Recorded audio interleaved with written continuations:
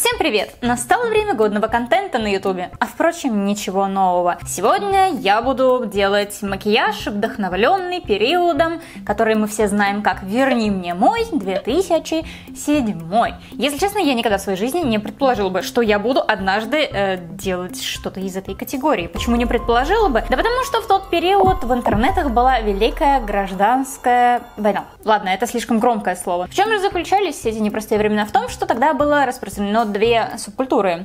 Эмо, трэш и все такое, и анимешники. А я была представителем людей, которые делали Ня.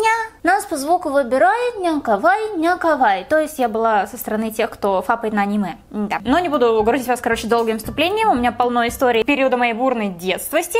Но об этом я буду рассказывать вам по ходу видео. И давайте, короче, уже приступим. А, да. Но прежде чем мы приступим, обязательно подписывайся на мой канал. Тык, включи себе уведомления о аппликациях, чтобы в дальнейшем ничего не пропустить. И приступаем. Ах да, меня, кстати, Лиса зовут. И на Инстаграм на мой подпишитесь, пожалуйста. А то что вы не подписаны на мой Инстаграм? Я не знаю. Я не знаю. Ну, подпишись. Не ленись. Я скачала себе огромное количество картинок того периода, тех макияжей и тех образов, поэтому я постараюсь э, сделать какой-то общий вывод, общий вид, вдохновляясь вот этим вот всем. В самом начале, конечно же, что я предлагаю сделать, это сменить немножечко мою прическу. Ну, с такой прической в 2007 году ходили разве что гламурные кису, но мы сегодня не про них, нет. Я вернулась. Смыла макияж, и теперь у меня черно-розовые волосы.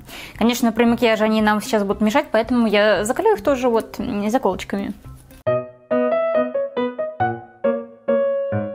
В самом начале нужно приступить с тонального крема и с основы под макияж. Я обратила внимание на то, что у всех идеально ровная белая кожа. Поэтому в самом начале я буду использовать мой блур для лица. Нужно сделать кожу максимально ровной для того, чтобы тональный крем, который я буду наносить впоследствии, лег идеально ровно. Я воспользуюсь сразу двумя разными затирками для поров. В самом начале я использую блур базу под макияж, и на мою блур базу под макияж я втираю так называемую затирку для пор.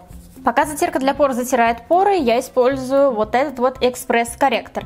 Он не имеет никакого цвета, поэтому я просто наношу его на зоны, которые у меня покраснели, на все синяки под глазами, и сейчас буду растушевывать. Когда база и затирка для пор сделают все, что они должны сделать, то есть э, покрыть лицо и затереться в поры, я использую мой самый светлый тональный крем. Кстати, обратите внимание, как круто он ложится на двойную степень э, блура лица, назовем это так. Сейчас я предлагаю начать с бровей. Тут целая история, и она весьма интересная. Но прежде чем я нанесу себе брови, именно нанесу себе брови, одену-ка я шапочку, чтобы быть более в образе и, если честно, тут кондиционеры так холодно, что я замерзла. Вот. Видите, с шапкой уже совсем другая картина. Я обратила внимание на то, что в макияже Эмма очень играют большую роль брови.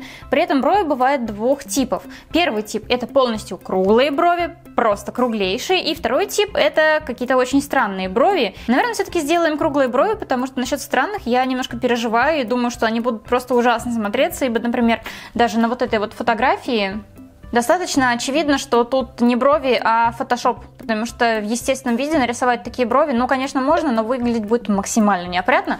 Так что давайте остановимся на круглой форме бровей.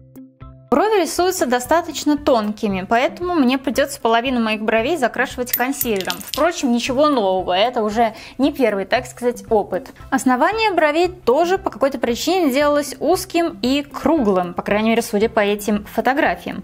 Поэтому ничего не остается, кроме как это же повторить. После того, как изумительно кругло прекрасные брови готовы, самое интересное нам предстоит дальше. Нам предстоит сделать макияж глаз, и вот это, я представляю, сейчас будет самое настоящее м- веселье. Изумительное, великолепное, прекрасное. Без базы под тени здесь совершенно точно не обойтись, если хочется сделать что-то более-менее адекватное. Я беру максимально черные тени, и наношу их на складку верхнего века максимально сильно, растушевывая. Сейчас нам нужно сделать глаз а панда. Он должен быть очень большой и очень черный, и похож, я даже не знаю на что. Ну, на типичный макияж э, Билла. Билла из Токио Отель, в смысле.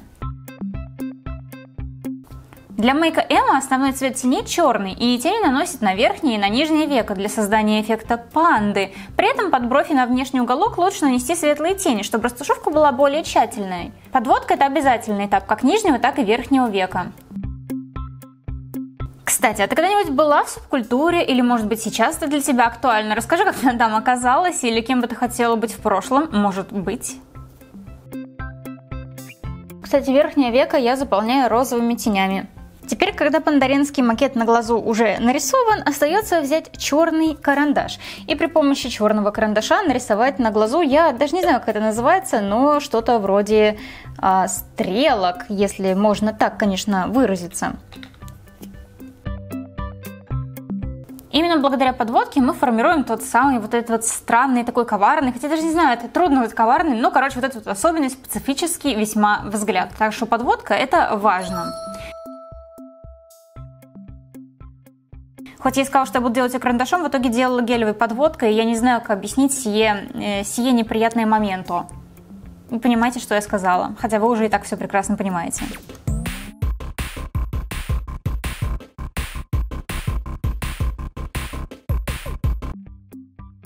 Большое спасибо, кстати, что выбрали именно этот временной интервал. Я читала ваши комменты под видео макияж из 90-х, и очень многие из вас просили именно период 2007 года. Мне реально было очень интересно изучать макияж Эммы, смотреть картинки и сейчас пробовать на себе что-то новое.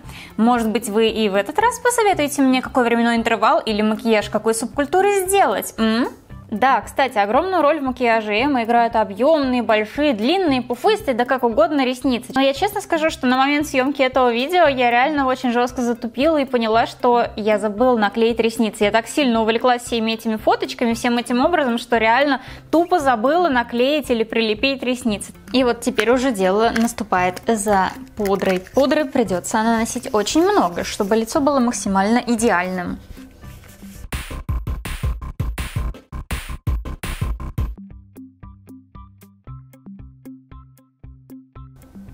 Кстати, я обратила внимание, что почти никто из них не использует румяна. Лицо просто выглядит белым и плоским, то есть никакого скульптурирования, контурирования, румян, хайлайтера, сияшечки, ничего нет. Поэтому можно сказать, что макияж практически полностью доделан. Теперь то, что предстоит э, выполнить, это определиться, что делать с губами. Оставить как есть, или же испачкать их тональным кремом и сверху покрыть какой-нибудь белой фигней. Хороший вопрос. Думаю, что все-таки я сделаю мои губы ярко-розовыми, чтобы они гармонировали с моим веком, потому что на веки я тоже нанесла розовый цвет, и на губы я нанесу розовый. И, если честно, мне кажется, что так выглядит, ну, немножечко поприятнее. А потом будем делать фотографию и отправлять моей подруге, которая в детстве в своем была имо-трэшем. И посмотрю, что она скажет. Интересно. Здесь все достаточно просто, никакой особой техники нет. Немного помады и растушевать.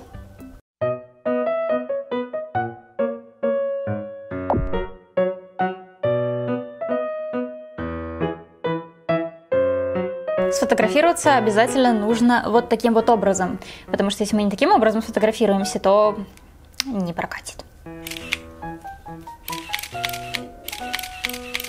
Отправляем подружке.